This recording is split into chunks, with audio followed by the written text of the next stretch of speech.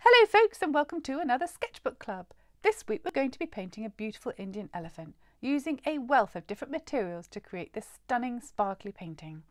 So you will need an HB pencil, a set of gouache paints, your size 1 and size 6 paintbrushes, a set of colour pencils and a pair of scissors. You'll need some PVA or craft glue and a brightly coloured pen for the decorative border. Completely optional, but I've also used some fluorescent pink paint too to give the colours a bit of a boost. Finally, and most importantly, you'll need some sparkly things like sequins, glittery paper and sweet wraps. You'll also need a sheet of tracing paper for my top collage tip. Now, tracing paper and sequins, etc. can be really expensive. So on the website, I've put together a Sparkly Things kit, which includes two free pages of low-grade tracing paper to make things easier and a bit cheaper. So, first of all, print out your elephant transfer reference sheet and instructions. Then, as per the instructions, start to transfer your elephant to your page.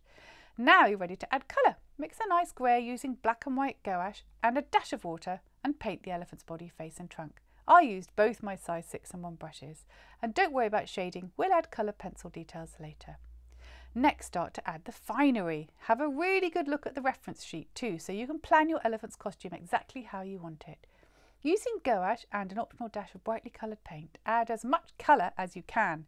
Don't worry too much about painting in details as we're going to add sparkles and colour pencils later.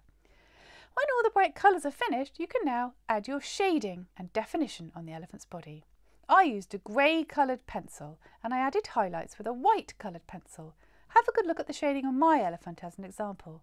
Using your pencils, you may also like to add shading or patterns and details on the elephant's costumes too. When the paint is dry, you're ready to add the sparkly bits. Now, I've got a great tip for this. Place a piece of tracing paper over the area you wish to cover and draw around it carefully. Hold the tracing paper piece over the shiny paper and cut around it really carefully, making sure the two pieces don't move around. This means that when you secure it to the area, it will fit perfectly. Use PVA or craft glue, as it's sometimes called, to stick down your embellishments. Sequins and stars look great too. Have a real rummage around. Even silver foil works well. And anyone who knows me will know that I always try and sneak in a Tunnocks tea cake wrapper whenever I'm using collage. Basically, whatever you can get your hands on that is sparkling shiny will look wonderful.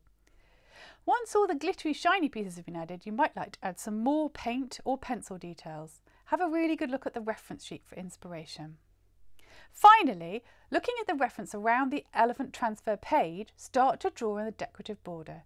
I used a red fibre tip pen, but any fine tip pen should do. Treat it like a doodle, it'll add to the painting's charm. And as a finishing touch, you may like to add a few splashes of colour when your border is complete. And there you have it, your finished masterpiece.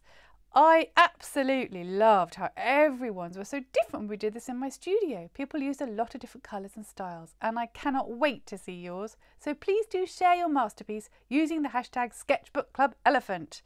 Have fun and I'll see you at the next Sketchbook Club.